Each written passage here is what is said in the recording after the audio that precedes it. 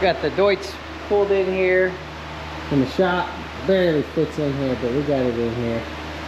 Uh, got it all washed up today. We're gonna be putting some protective coating on it to keep this paint nice and shiny. Hopefully keep it from fading over time as well as protected from minor scratches and all that good stuff. So I have a friend I go to church with from his dad run a car wash. I sent him a message one day after I got this. I was like, hey man, what do you recommend? I said, they don't clear coat tractors. I said, waxing is the old school go-to, but wax breaks down at like 100 degrees or whatever. So on these hot summer days, it really doesn't do a whole lot. You know, you don't get much protection out of it. You to do it all the time. It's like, what do you recommend? And he recommended this product that I went and bought called Hydro Slick. And it's a ceramic coating hyper wax. Now, I have no idea what that means, but there, you can read all about it. So we're going to give this a try. I'll reread the instructions. Like I said, we got it all degreased and washed as best as we could. I might wipe it down with a clean rag. I got to read the instructions and see what we're doing.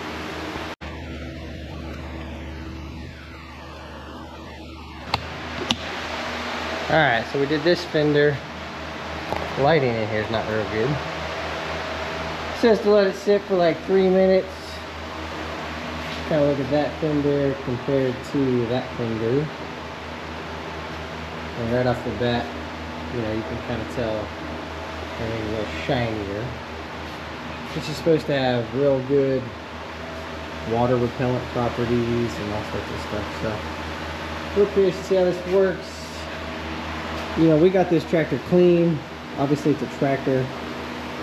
And we still picked up some some dirt.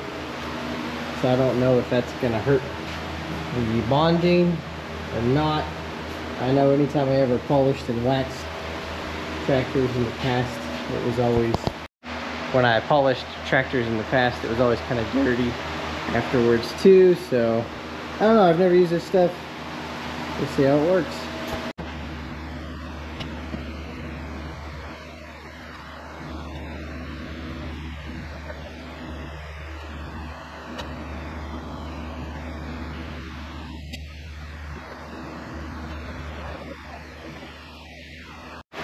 All right, a lot of work, but we got one coat on all the green. Probably need to do the loader too, but like I said, the lighting's not the best in here, but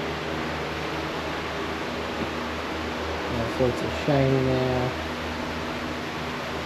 Yeah, we'll see. I'm just gonna do one coat. It says you can layer it. It's supposed to last quite a while though, so next time we wash it real good, we'll probably do it again. But I just want to get something on because hopefully next week this bad boy is going to go out and be stuck in the hayfield for a while. A little late, but still some hay to be put up with all the rain we've gotten. So thanks, follow along. Definitely stick around for a review on how this holds up and check out everything else we're doing.